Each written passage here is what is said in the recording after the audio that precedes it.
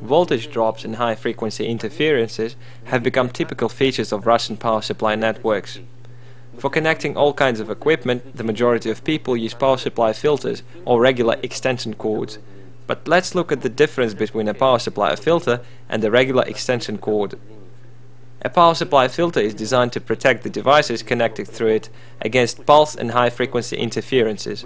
Most of regular power supply filters consist of two simple components, a varistor and an LC filter.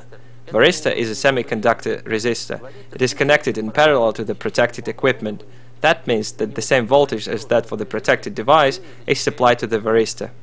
If a high voltage pulse occurs in the power line, then the varistor's resistance drops abruptly.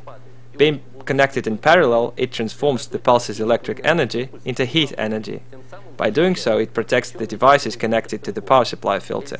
LC filter is a component for suppressing high-frequency interferences. Such interferences distort sinusoid of the alternating voltage in the supply network. They also affect negatively the operation of electrical equipment, especially if it is complex.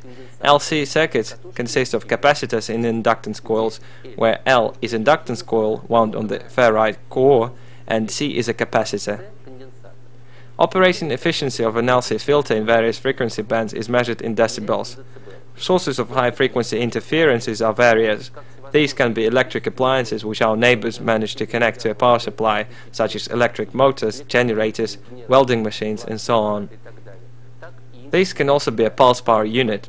All modern power supply filters employ the described concept, thus it is very difficult to come up with something else. Household extension cords are sections of electric wires of different length which have plugs and sockets on their ends. Extension cords are designed solely for a convenient and efficient connection of electrical equipment in the required place of a room. They are used in cases when a wall outlet is too far from the device. Such extension cords do not protect equipment against voltage steps or high frequency interferences.